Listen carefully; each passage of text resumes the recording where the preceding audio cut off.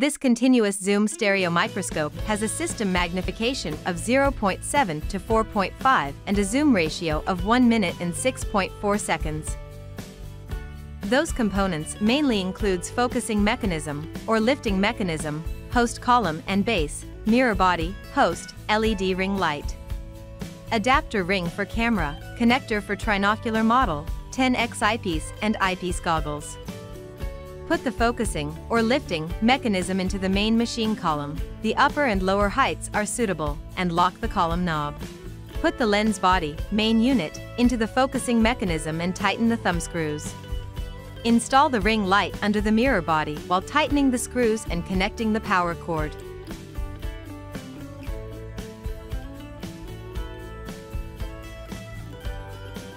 Put the eye shield on the eyepiece.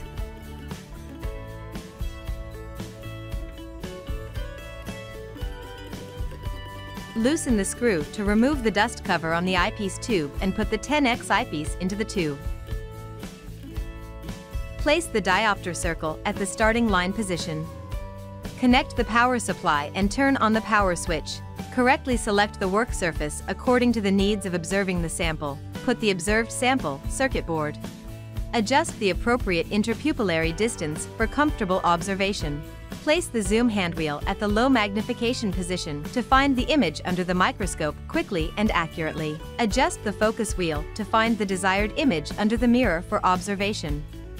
When the image under the microscope is found, move to the center of the field of view, and the focus is clear, then adjust the zoom handwheel to the high magnification position, and the image under the microscope will not be clear at this time. Use the focusing handwheel to adjust the image under the microscope to the highest clear.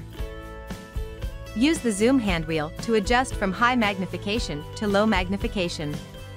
At this time, the image under the microscope should be continuously zoomed and kept clear. This is the unique observation effect brought by the continuous zoom stereo microscope. Install the camera adapter, connect the electronic eyepiece, connect the electronic eyepiece USB interface to the computer.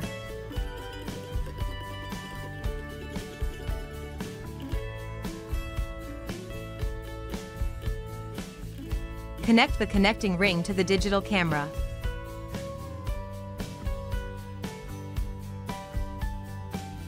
Connect the connecting ring to the trinocular interface of the stereo microscope.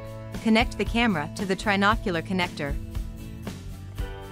Connect the camera to the computer with a data cable. Open the corresponding software on the computer and capture the image under the microscope. The software can perform video recording, photographing, saving and other methods. It can measure, analyze, etc. Thank you for watching.